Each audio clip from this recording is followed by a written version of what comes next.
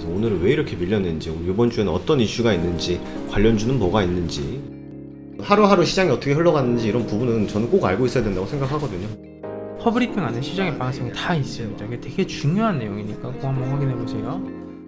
네, 안녕하세요. 허브경제TV 최호영입니다. 오늘 볼 종목은요, HK 이노엔이라는 종목을 좀 보도록 하겠습니다. 그 전에 저희가 허브 리핑이라는 영상을 무료로 제공해 드리고 있거든요. 카톡 친구 추가하시고 저희한테 허브 리핑 보내달라 요청을 하시면 저희가 보내드리고 있는데 어, 요 영상은 시황이라든지 재료 관련해서 저희가 언급을 해놨습니다. 그래서 오늘 어, 시장이 어땠는지를 정리할 수 있고 내일 시장에 대해서 미리 대비할 수 있는 영상이다라고 좀 말씀을 드릴게요. 요거 잊지 마시고 언제든지 저희한테 요청을 하시면은 저희가 무료로 제공을 해드리고 있기 때문에 부담 갖지 마시고요. 자 일단은 화이자 그 다음에 HK 이노엔이 특허 분쟁을 다시 한다라고 합니다. 뭐 일단은 2016년도에 화이자가 이겼던 소송인데 어, 이노엔에서 특허 무효를 재청구한다라고 하거든요. 그 내용을 조금 보도록 하겠습니다. 일단 뭐 화이자 블록버스터 통증 치료제 리리카를 두고 국내 제약사와 화이자 사이에 벌어졌던 10여 년간의 특허 분쟁이 다시 법원으로 향했다라고 하네요. 일단 대법원에서 특허가 유효하다라는 판단이 마무리된 것으로 보였던 사건이 5년 만에 다시 법원으로 가게 된 거거든요. 이게 지식재산권 업계와 법조에 따라서 리리카 복제약을 판매했던 HK 이노엔이 워너 램버트의 불에가 발린 일부 통증 치료에 대해서 용도 특허를 취소해달라면서 지난해 5월에 낸 청구를 뭐 특허 심판원들이 받아들였다. 뭐 이런 얘기가 나온 겁니다. 뭐 일단 뭐 재판기일은 잡혀지지는 않고요. 리링카는 화이자의 대표적 의약품 중 하나입니다. 현재는 뭐 모더 화이자 그 백신이죠. 그리고 이제 코로나 치료제 이런 부분이 또 강하게 음 시장의 중심에 있기는 하지만 그래도 리리카는 예전부터 뭐 화이자의 대표적인 의약품이었다고 좀 보시면 됩니다. 뭐 출원이 된 지 20년 만에 지난 완료가 되어 있는 상태고요. HK 이노엔이 법원에서 승리한다 하더라도 우선 판매권 등을 얻게 되는 것은 아닙니다. 그러나 소송 결과에 따라서 특허 자체가 무효가 된다라고 하면은 국내 제약사들이 특허 침해를 이유로 화이자에 낸 손해배상금을 돌려받을 수 있는 여지가 좀 생긴다라는 겁니다. 이번 소송은 9월 특허 심판원이 어, HK 이노엔이 신청을 받아들이면서 프레가 발린 성분의 일부 통증 치료 특허는 무효라는 판단하는 데에서 따른 것이다라고 좀 보고 있거든요. 일단은 요거 같은 경우는 꽤 오래전에 그 11년으로 좀 거슬러 올라가야 되는 부분입니다. 그 프레가발린 특허가 만료가 되는 2017년이 되기 전에 리리카 제네릭을 뭐 개발 판매하면서 리리카 특허가 무효라는 재, 심판을 제기했죠.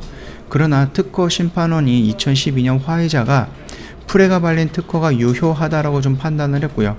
이전 특허와 비교해서 진정성이 인정되고요. 특허 명세서를 필요한 피, 뭐 기재 요건도 모두 갖췄다라고 좀 본 건데요. 여기서 이제 화이자가 좀 반경이 나섰는데 제네릭을 판매한 회사를 상대로 특허권 침해 이유로 손해배상 소송을 낸 것입니다. 2017년 6월이었는데 어, 일단 서울중앙은 중앙지법은 이제 화이자 손을 들어드렸죠. 그래서 22억 정도로 선고가 나왔었던 부분이고 이게 만약에 반전이 일어난다라고 했을 때 이 22억 부분에 대해서 돌려받거나 아니면은 이 부분에 대해서 다시 청구할 수도 있는 부분이다라고 생각을 하시면 됩니다.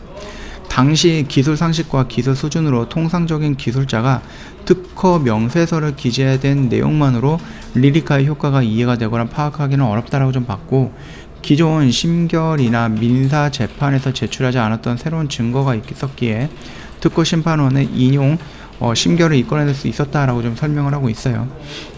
뭐 이게 누가 됐던 간에 누가 됐던 간에 만약에 어, HK 인후환이 된다라고 하면 좋은 거고 화이자가 또다시 승리한다라고 하면 그것도 그렇게 문제가 되는 건 없습니다.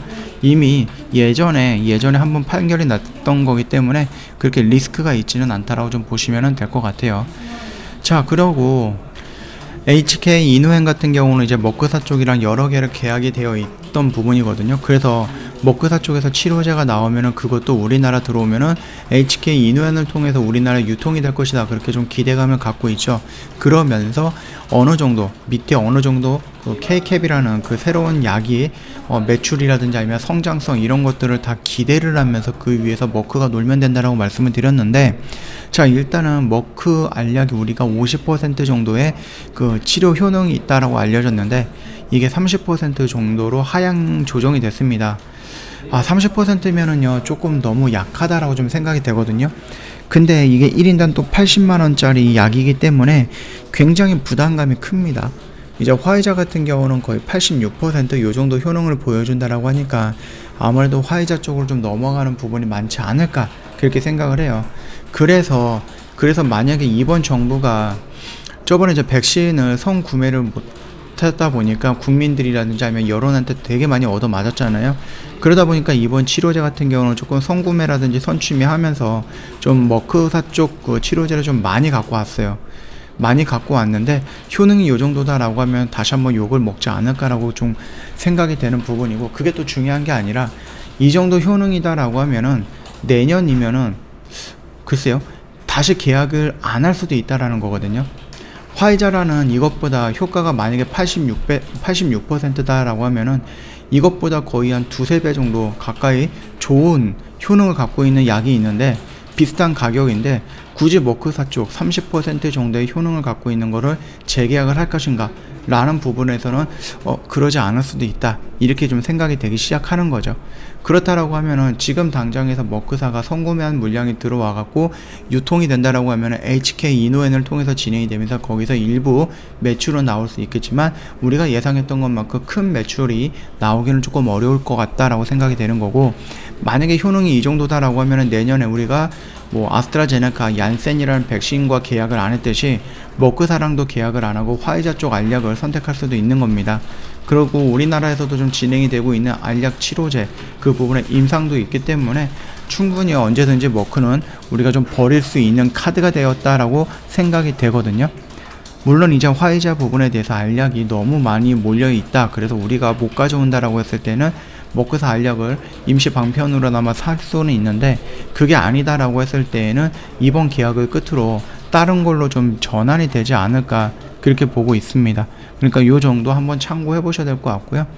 자 일단은 뭐 블록딜이라든지 아니면 뭐 지분 체인지라든지 뭐 이런 부분이 나왔습니다. 그래서 우리가 요 박스권 안에서 기다렸다가 천천히 매수하면 된다라고 말씀을 드렸는데 올라가다가 다시 한번 밀렸죠.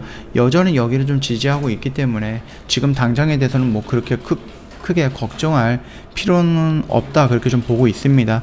여기서 어느 정도 조정 끝마무리가 된다고 하면 다시 한번 올라갈 모습이 연출이 될 거다 그렇게 좀 생각을 하시면 될 것 같고 K캡에서 나오는 매출이라든지 그래서 정말로 이번 연도에 천억이 이상이 나올 것인가 이 부분까지 우리가 좀 4분기 매출 실적이라든지 이런 것까지 좀 기다린다라고 하면은 충분히 다시 한번 올라올 수 있는 어, 종목이다 기업이다 이렇게 생각을 해주시면 됩니다.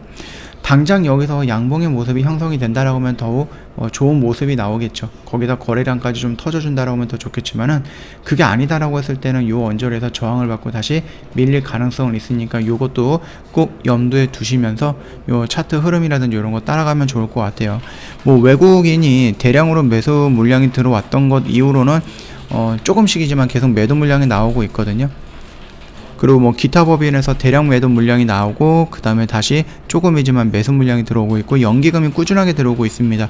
물론 이제 띄엄띄엄 있고 물량이 그렇게 많은 거는 아니지만 요 정도 수급적인 부분만 체크해 보시면은 어, 놓치는 거는 없을 거다라고 좀 말씀을 드리겠습니다. 11월 그 매매 결산 내역을 보면서 마무리하도록 하겠습니다.